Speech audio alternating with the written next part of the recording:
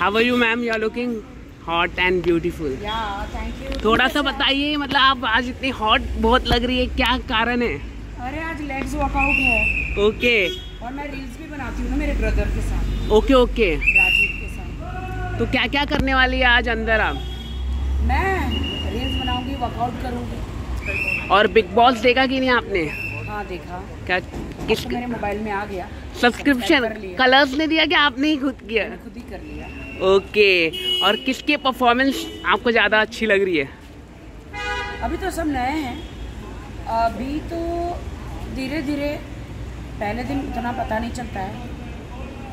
But अभी धीरे धीरे खुलेंगे। अभी हाई सोसाइटी सोफिस्टिकेटेड सब चल रहा है।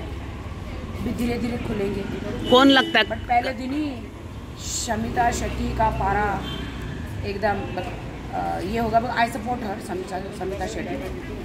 पहले दिन ही उनका पारा दिख गया था। ज़िंदगी की सारी लड़ाई जो है पेट से ही शुरू होती है।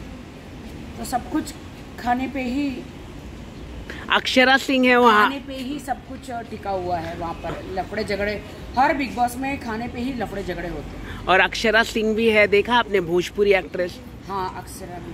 तो कैसा लगा? रवि किशन जी से मिली थी जी के कॉमेडी शो पे।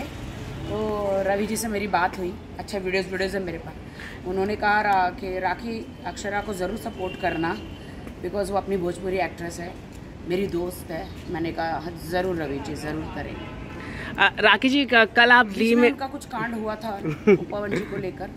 बट वो भूल जाना चाहिए हर इंसान पवन जी और पवन जी ने उनको काफ़ी परेशान किया था। उनको अ, पहले वो रिलेशनशिप में थे और तब बाद में उन्हें ब्रेकअप हो गया था। देखो कौन किसके रिलेशनशिप में कौन किसको परेशान किया मुझे नहीं पता है। बट एक लड़की होने के नाते मैं उसे ज़रूर सपोर्ट ओके कल कॉमेडी शो में गए क्या क्या किस किस के साथ आपने मस्ती की और क्या हंगामा? जी के साथ बहुत मस्ती करी फरा मैम के साथ हमारी सारी पुरानी यादें फिर मेरा परफॉर्मेंस रहा फिर मैंने एक्ट किया जी कॉमेडी शो में। बहुत मज़ा आया। ओ माय गॉड दो साल के बाद मैं इतना हँसी। हूँ बहुत मज़ा आया। बाईस तारीख को शायद मेरा आएगा एपिसोड कॉमेडी में क्या क्या किया आपने? कॉमेडी में छोले भटूरे मैंने तले पूरी भाजी तली और कॉमेडी में मैंने आलू बुखारे और उनका सब सैलड बनाया।